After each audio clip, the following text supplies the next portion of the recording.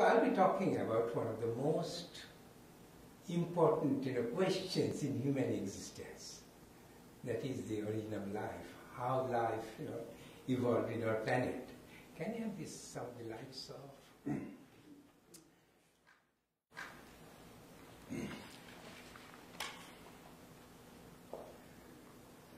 Now, in my talk, there are two aspects.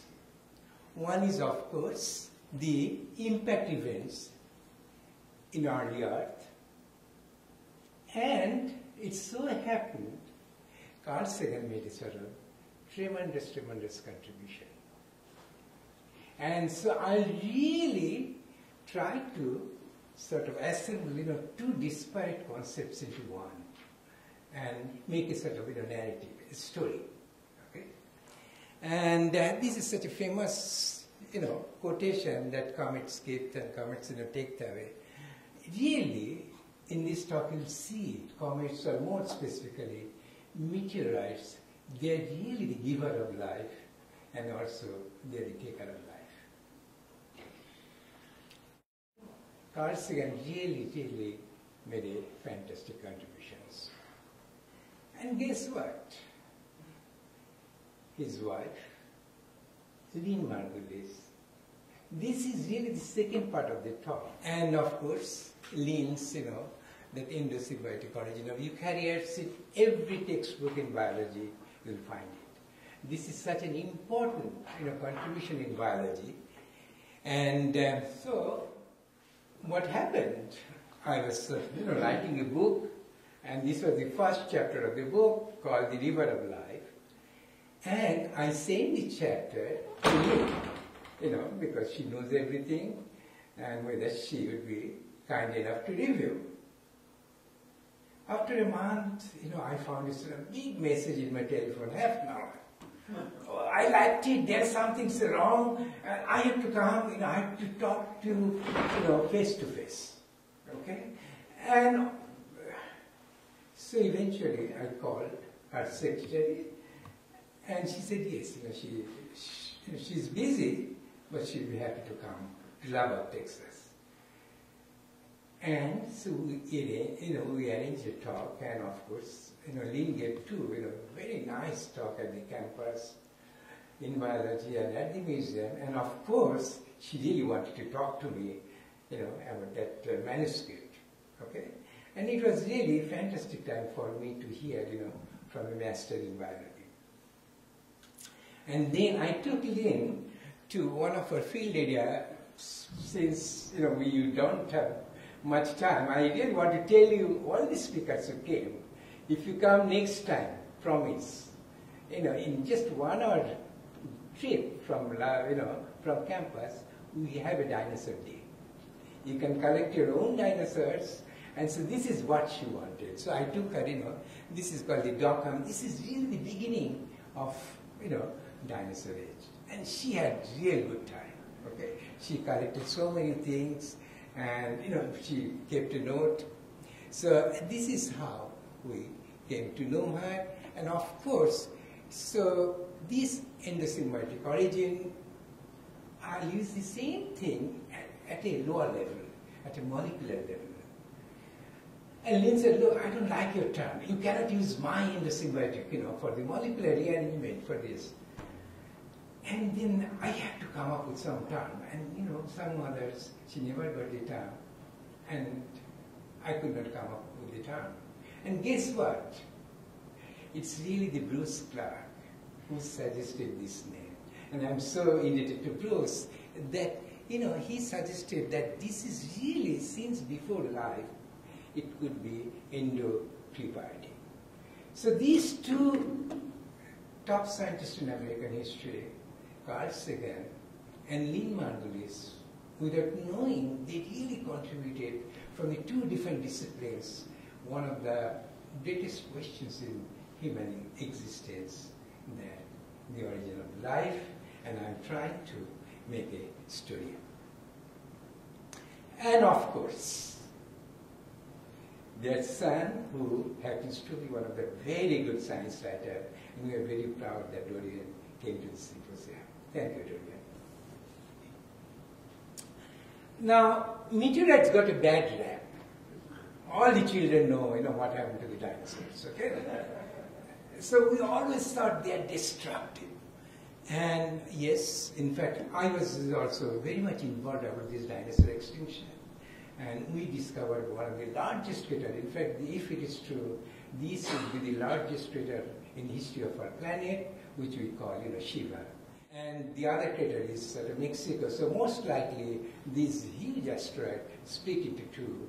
One fell in Mexico, the other in the west coast of India, and this is what happened to the dinosaur. Now, we knew that dinosaur death is really not so bad, simply because if dinosaur did not die out, placental mammals, they would not flourish. They actually lived with dinosaurs, you know, for millions of years. So dinosaurs really made sort of, you know, that niche were really occupied by the mammals. In other words, if dinosaur did not die out, mammals would not flourish, and I will not be talking in front of you. Okay? So the meteorites, you know, they are not really all dead. But what we'll see, that they are also the very important thing, you know, they renew life. In fact, probably they made the major contribution about the original life, and again, thanks to Carl Sagan, you know, who thought long time back. So these two sides of the meteorites, one is the destruction, one is this renewal. It's almost like, you know, like Hindu god Shiva. You know, it's really the cosmic dance of Shiva. Okay? Now, as I said, this is one of the biggest questions in human existence, how life might have been evolved. Okay? And every culture, every, you know, religious uh, scripture books you'll find, it starts with the story of Genesis. How life, you know, might have been started. Of course, you know, it's very simple. God said there will be life, and so there is life. And so every generation, they really has to rewrite the book of Genesis. So what we're really doing it, we're also you know, giving our view. And maybe after 50 years, next generation, they'll come up with a much, much more refined view about the genesis of life. One day, interesting twist in this debate that Darwin did not participate. In this whole origin of species, if you read, he never mentioned about the origin of life. He said, you know, I just cannot handle. But in a letter, this is one of the most important historical letter he wrote to his you know, botanist friend Hooker, that, oh, if if there is sort of one little pond, you know, this has become a very catchy phrase. That if there was one little pond with all sorts of ammonia and phosphorus and salts, heat, electricity, a protein compound was chemically formed, ready to undergo still more complex changes. This is one of the profound insight. Think about it later. And not only that, he added two more lines. That once the very first life formed, they would gobble up all these chemicals. So there will be no second life. So life origin is just one, and it's a singularity, one unique event.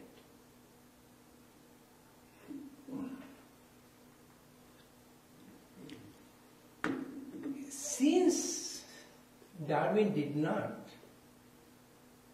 handle, did not, you know, sort of grapple with these questions, it was really left, left for many, many years. Almost 50 years, nobody really talked about the origin of life. Then, two gentlemen, entirely from the different parts of the world, one from Russia, one from England, they said, you know, there should be a beginning of a beginning. We have to start entirely from the scientific point of view. You know, we may be wrong, that's okay. And so that's the really beginning of this whole quest for the original, okay? And this is really, it started in 24 and 27 by Oparin and Horner.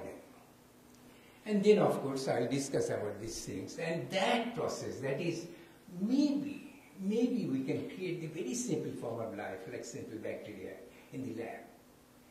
And it has been tried almost for 50 years all over the world.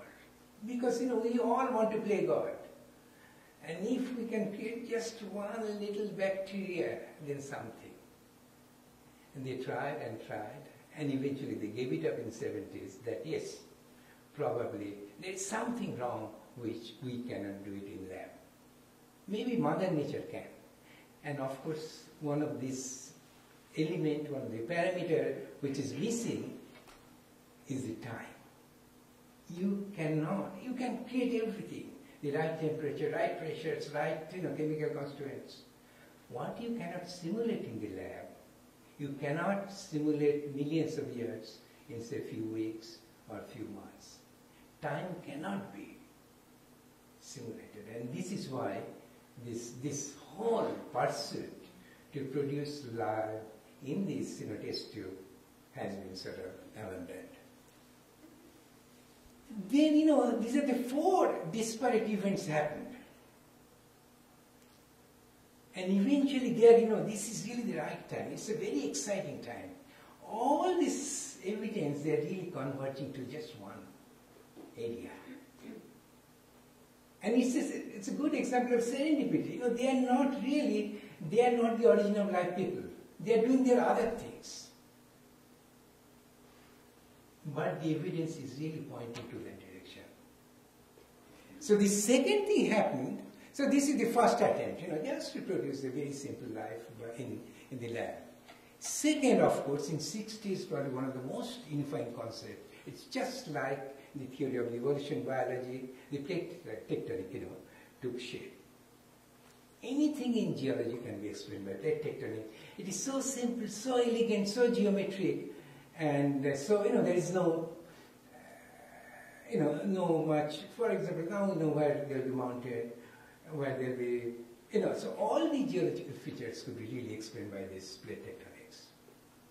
And basically these are the, you know, three plate boundaries, especially after when it has been accepted in 70s, scientists really wanted to go to the ocean floor because most of the plate boundaries, they are at the floor of the oceans. And they put the submersible Alvin at the floor of the ocean just to see how the plates are separating. Okay? If you really go to the bottom of the oceans, you will see just like the seam of a baseball, these are set of all the plate boundaries. Okay? And some of them, especially the ridge, they look like sort of mountain, like rocky mountains, you know, going. And they know that, you know, the lava is coming out. But when they actually, you know, went down look at the spreading ridge, they're amazed. They discovered an entirely new niche and probably the oldest environment still preserved in our planet. That is the hydrothermal vent. An entirely new kind of life. So think about it. They are doing the geology, geophysics, and yet as a byproduct, they stumble upon entirely new life which is not sustained by sunlight which is really you know, energized by the volcano, by the heat.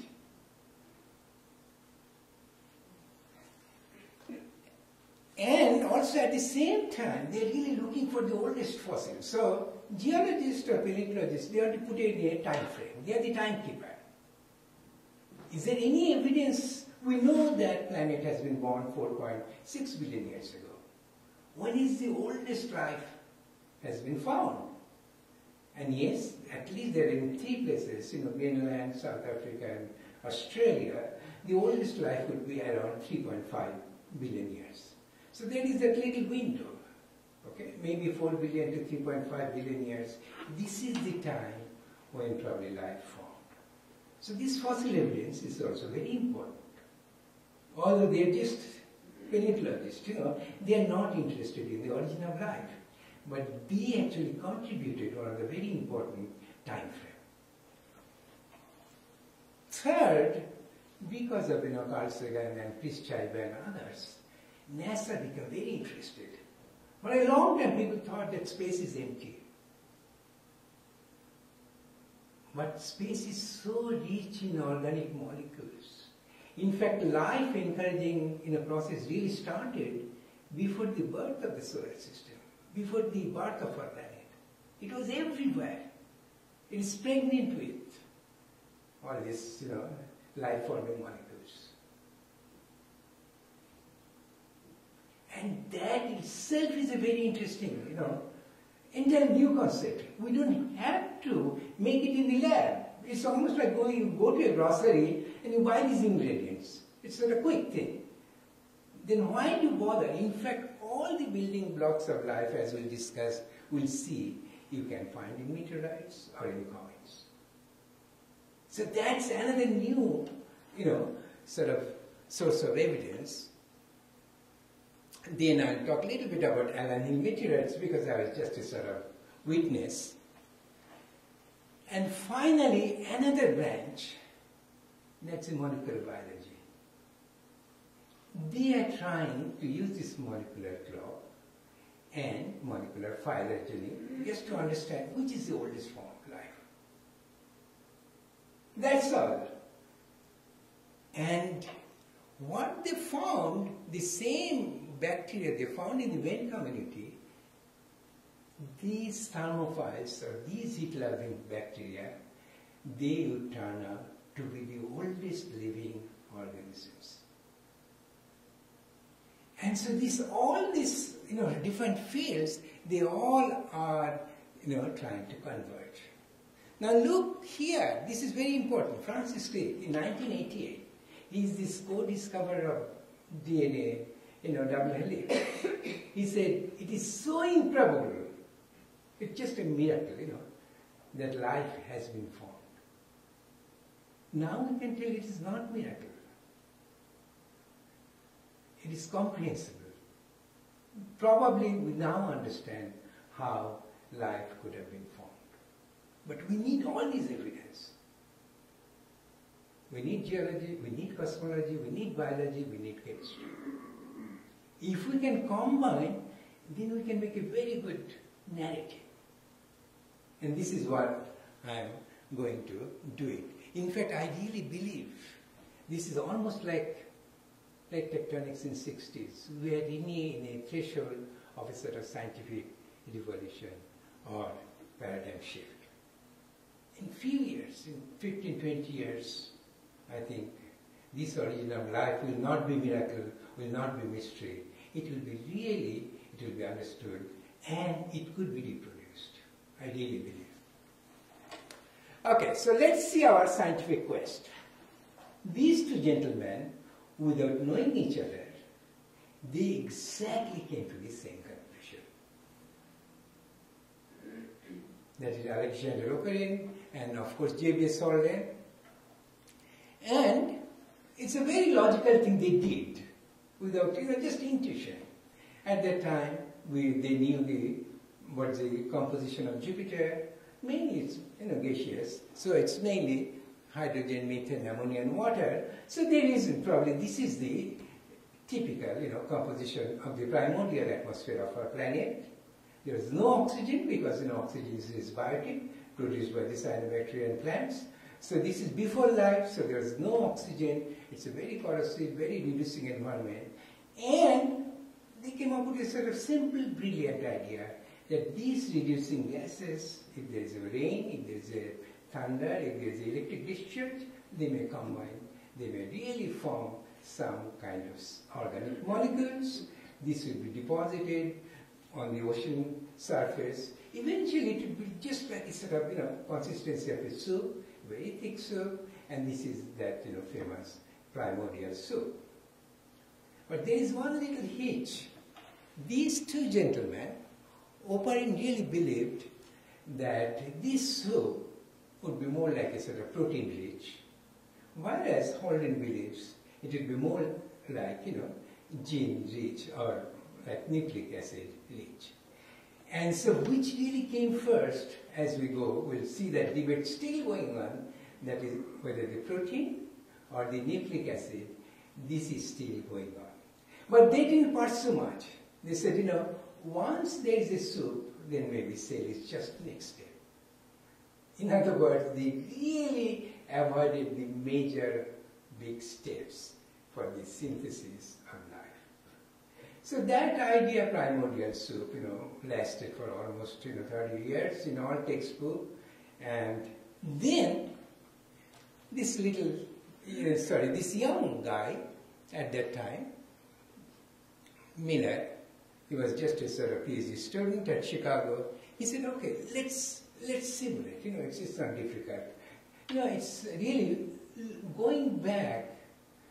It's, it's amazing that nobody really tasted that simple thing, whether it works or not.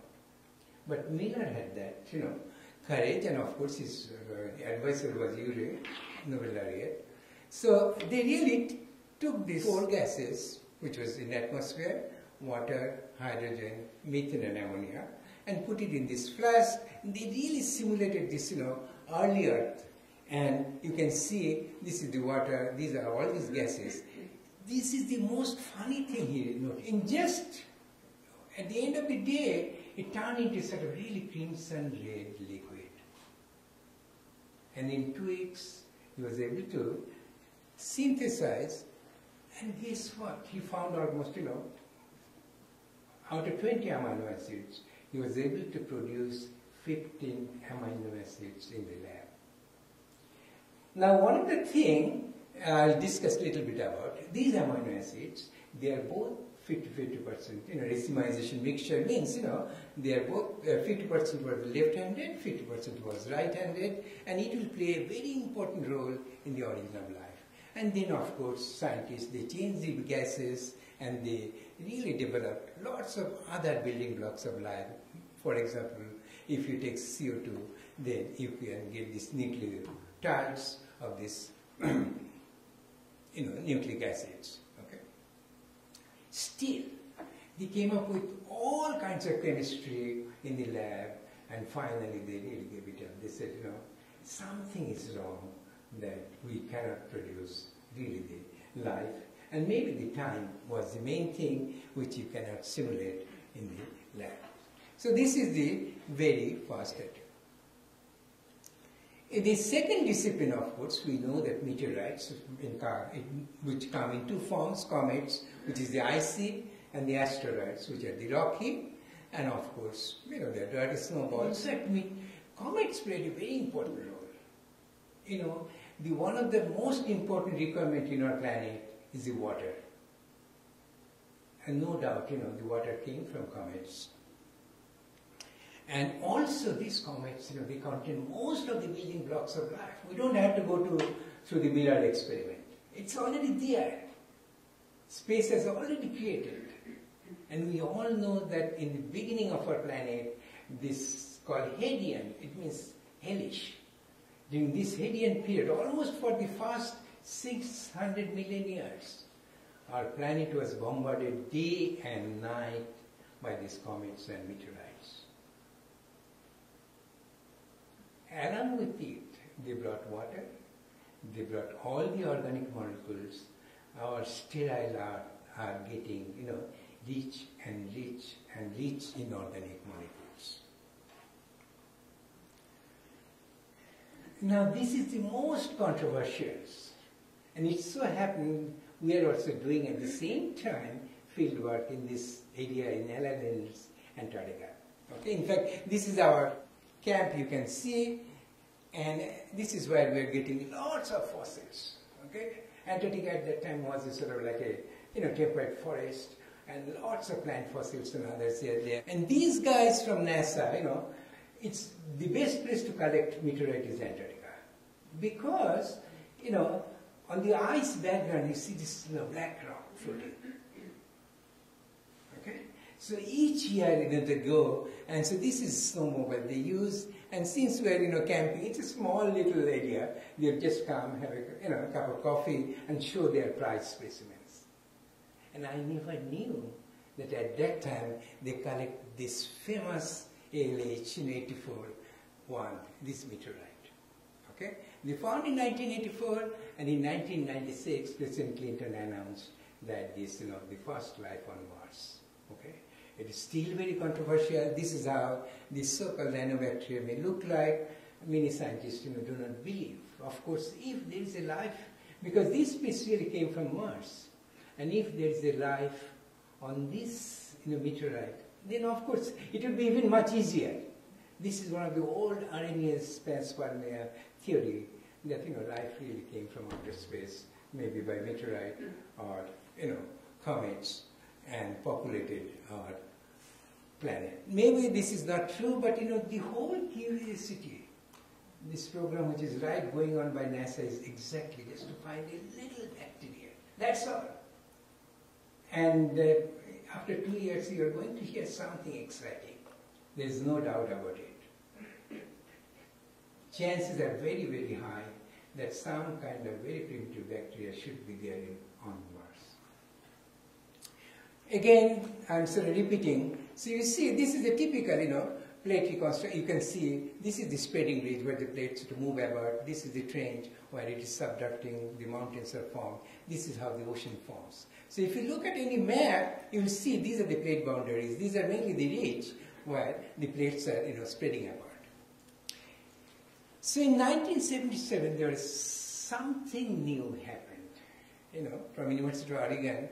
They wanted to see just here, okay? So this submersible will go two, three miles deep to the ocean floor, right here in the Galapagos Island, just to see.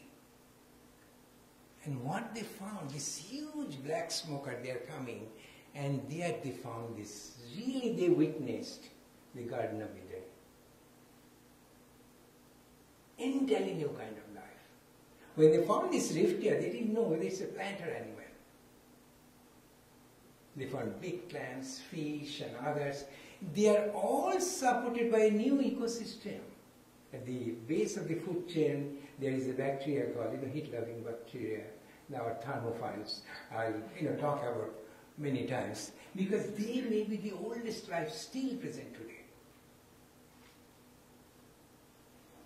So again you see entirely different field, but they contributed one of the most important thing in this you know, debate, in this big picture about the origin of life.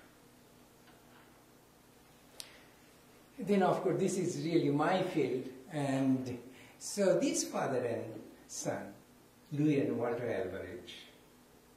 And this is a place in Gubbio, Italy. This is the KT boundary, that means this is the Cretaceous, this is the time of the dinosaur, and this is the time of these you know, mammals. Of course, it's a many sections. And, right, this is the boundary. And for a hundred years, you know, everybody knew that dinosaur died out. But this is for the first time, it's a very scientific outlook. So what geologist's son did, Walter, he took a set of samples from, you know, from bottom to the top and gave it to his Nobel laureate father, Louis, and see whether there is anything in this boundary. And guess what? Louis found that there's a huge spike of a very rare element called iridium, you know, very shiny like platinum. And that is basically very common in carbonaceous meteorite. And they found in every boundary sections in the world. And they came up with this, you know, brilliant idea that yes, about 65 million years ago, a meteorite crashed and this is the end of the dinosaur. Suddenly, you know, geologists never talked about meteorites. It has created so much excitement. People really try to look any crater Okay, NASA really made a sort of huge team. You know, they take photographs because many craters, they look like a sort of circular ring. So you can really detect from space and then you go there and just collect a little sample. If they show iridium anomaly or shocked quartz, you know it's a crater. So again, there is a resurgence of interest about impact cratering process. For the first time, geologists realized that impact cratering is really one of the most important geologic force. Side by side, let's it is also biologic force. It, in biology, it is a game changer. Think about Darwinian, Darwinian evolution is very slow and sort of steady process. But whenever there is a mass extinction, suddenly everything changes. You start with a new slate, okay? And it gives the opportunity those who are sort of, you know, weak, those who are sort of, you know, oppressed. So the role of meteorite, you know, in evolution is becoming, and as well as in geology becoming more and more important. Similarly, we also found this another crater right here on the western shelf of India called Shiva crater. This is the largest crater, about 500 you know, kilometer diameter. And mind you, both Chicxulub and Shiva, they are the largest oil field. Because whenever there is a crater, this is the ideal petroleum trap.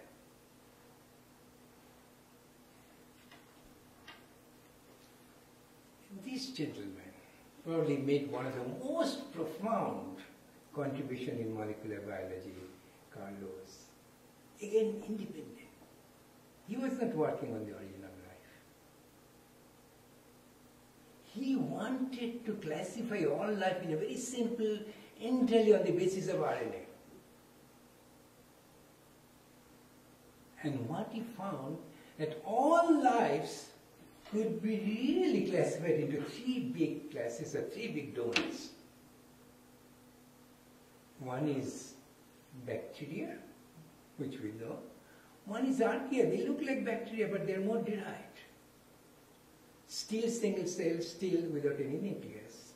And finally, the eukarya or eukaryote on which you know, Margulis made a sort of contribution. So, you know, all life can be classified, you know, on the basis of, you know, molecular biology into these three domains.